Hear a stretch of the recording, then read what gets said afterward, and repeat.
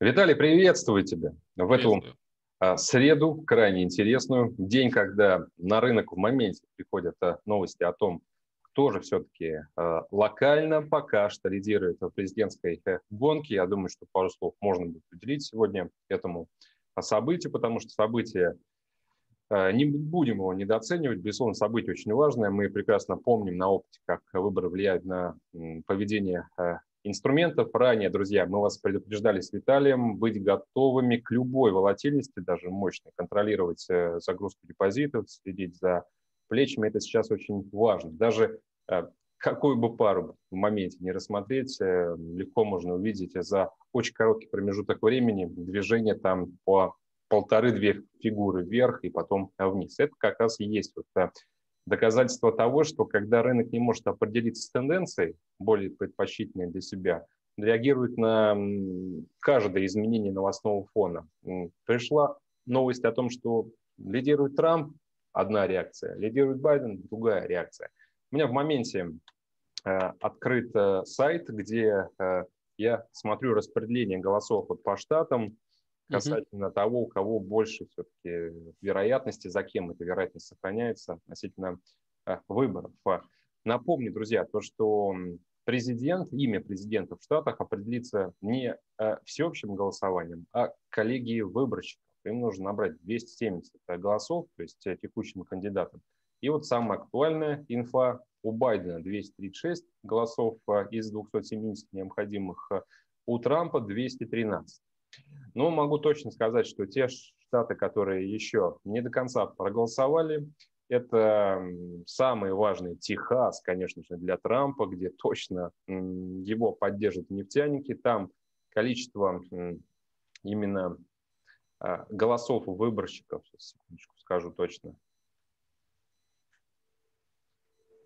38. То есть, эм, если добавить сюда еще оставшуюся часть Флориды, где тоже серьезно. Трамп. Да, там тоже, мне кажется, за юг, за Трампа, да? 29 э, выборщиков, то есть 29 голосов. То есть получается Флорида, где 29, ну, скажем, 30, ладно, и Техас, где 38. Вот 68, получается, голосов. Добавляем к текущему уже набранному уровню поддержки 213. И вот как раз получается потенциально 270. Конечно же, ситуация может измениться. То, что все еще непредсказуемо. У нас э, выборы были столь же интересными в 2016 году, когда, казалось бы, э, точно э, должна была одержать победу Клинтон, но каким-то чудесным образом Штаты, сомневающиеся в самый последний момент, дали предпочтение все-таки Трампу.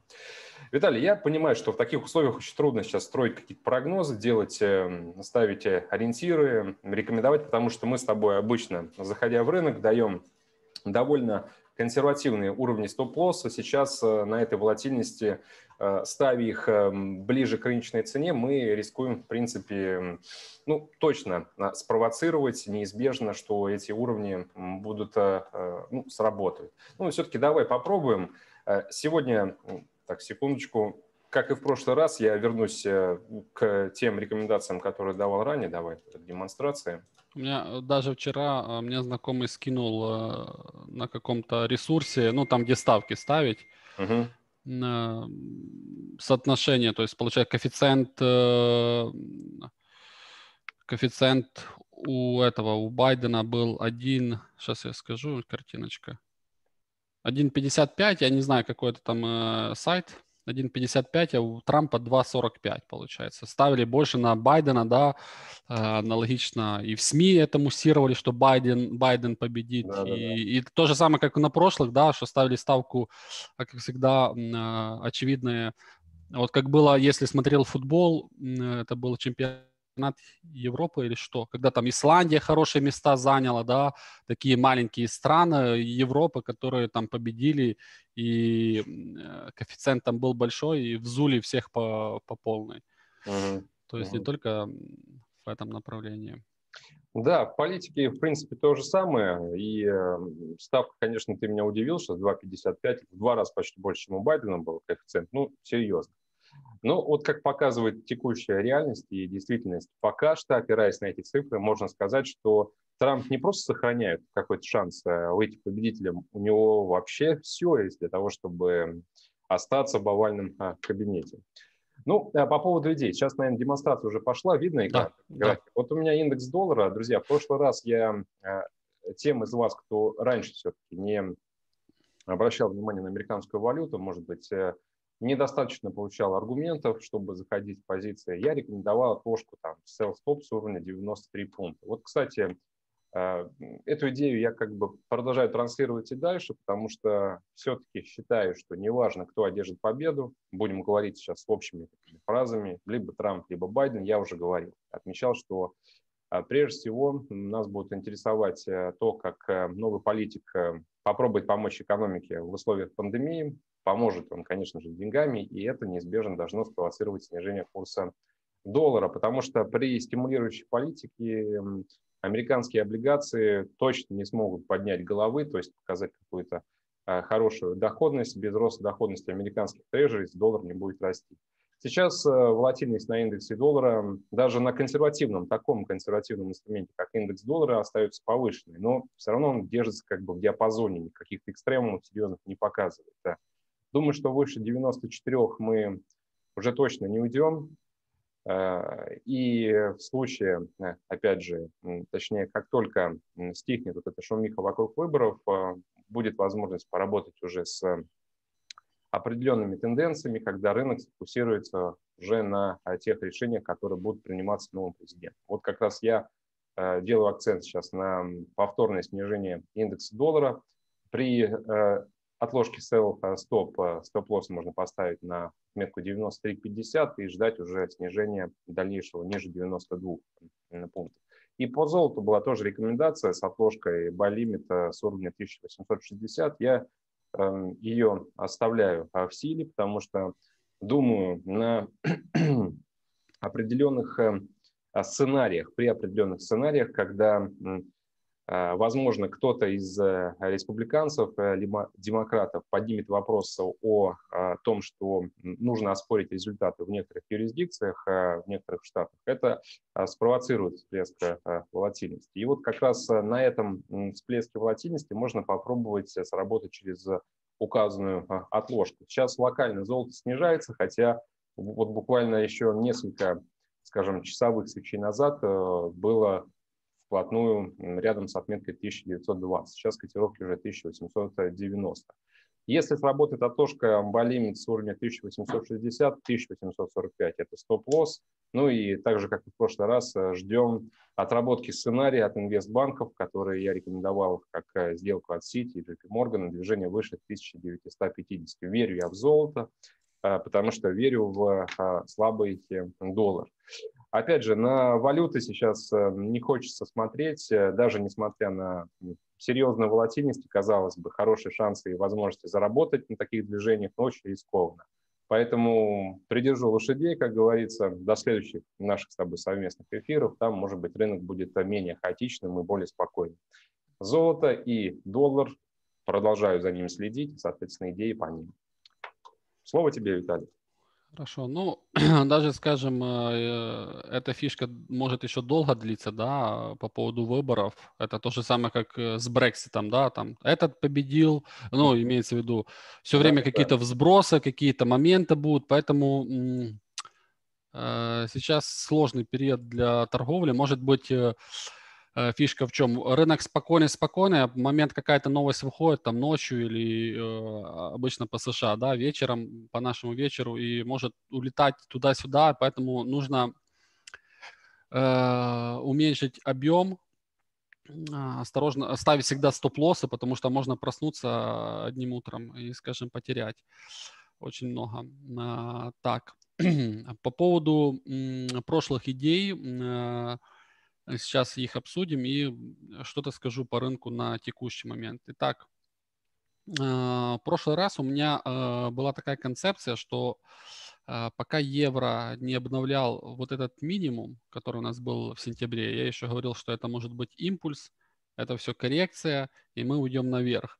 Аналогично было по золоту, аналогичная ситуация вверх и по S&P вверх. Но, скажем, по золоту сейчас мы обсудим, почему я давал шорт Итак, евро э, мы здесь покупали с небольшим стоп-лоссом за этот минимум. Оно, в принципе, неплохо выросло.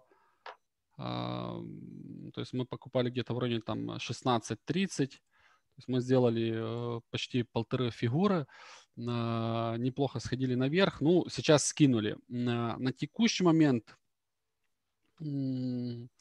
Считаю, что идея неплохо отработалась, а на данный момент аналогично здесь похожая ситуация с индексом долларом. Зависит, как сегодня дневка закроется. Конечно, до закрытия дневки еще очень далеко, вот только открытие европейского рынка. Если, скажем, закроемся с дневка с поджатием, то есть имеется в виду, что ее сегодня чуть-чуть подвыкупят где-то вот в этом диапазоне, то здесь э, еще существует, э, скажем, вариант лонга. А, это, это, это будет локальный или глобальный, то есть это мы по времени посмотрим, потому что вот если взять индекс доллара,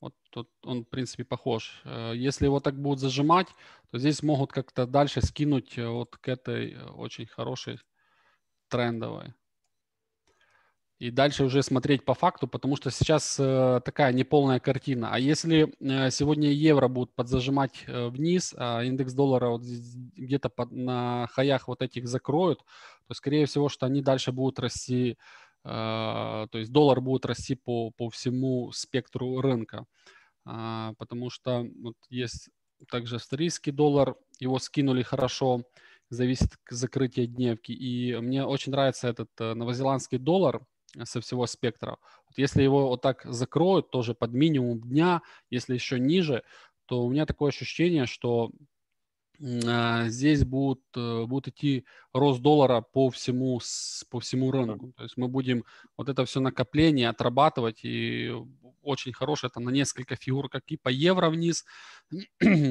так и по другим инструментам. Поэтому а, сейчас у меня скажем, нету торговых рекомендаций, есть просто э, какое-то видение рынка, оно, оно сейчас не полное, если в ближайшее время что-то нарисуется более понятное, я же говорю, зависит, как сегодня закроются э, дневки по вот этим инструментам. Евро, индекс доллара, доллар-франк, там аналогично, кстати, вот как э, индекс доллара. Uh-huh. Вот если будут подзажимать вниз, то Э, вероятно, будет э, доллар падать. Если наоборот, то дальше будет продолжение, думаю, роста доллара. А, дальше. Что у меня еще было? А, было золото.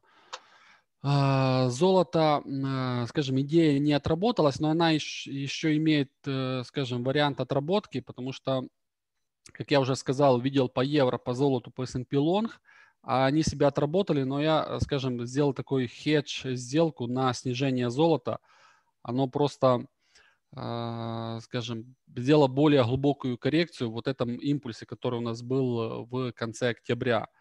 Я думал, что мы не покажем хай вчера, даже выше там 1910, думал, думал что сюда не уйдем, ошибся. И сейчас аналогично, если мы сегодня золото подзадаем вниз, а, то в принципе у нас а, существует вариант снижения в район там 1860, 1850 и возможно там в район 1800. А, за этим нужно наблюдать, пока не полная картина, но такое ощущение. Ну и в принципе S&P, он хорошо подрос. Мы здесь можем еще проболтаться вот тут сейчас покажу вот такой треугольничек интересный. Давайте это все поудаляю, чтобы было более красиво. Вот так.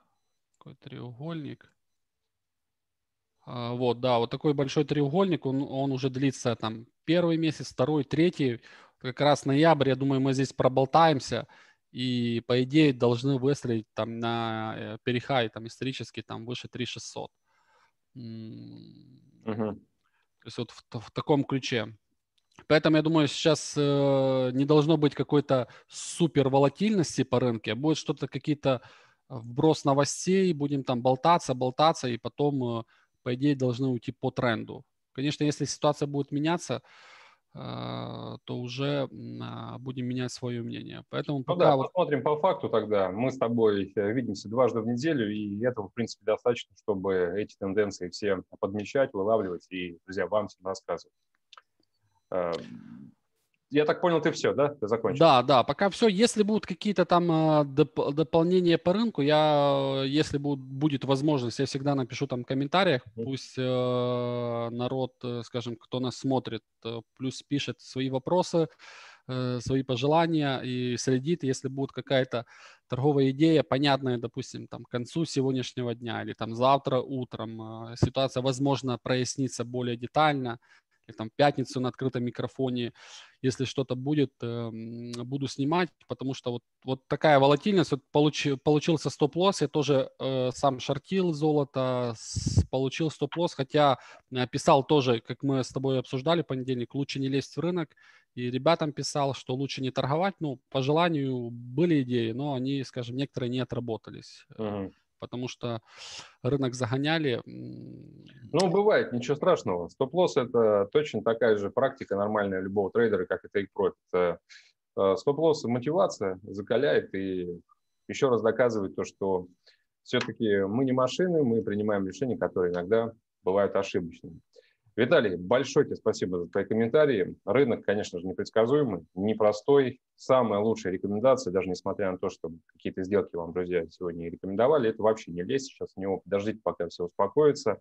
Ну, либо если вы консерваторы, вы знаете, что такое не злоупотребляйте с загрузкой депозитов. Если вы торгуете с плечом не более чем 1 к 10, ну, тогда можете пробовать свои силы как раз через те рекомендации, которые мы давали. Виталий, я думаю, что к следующему нашему с тобой эфиру, это понедельник следующий, рынок уже подустаканится, подуспокоится. Может быть, э, э, что-то интересное мы с тобой и найдем. Спасибо тебе. Классного Пока. закрытия. Все, удачи. Хороших выходных. Пока. Пока.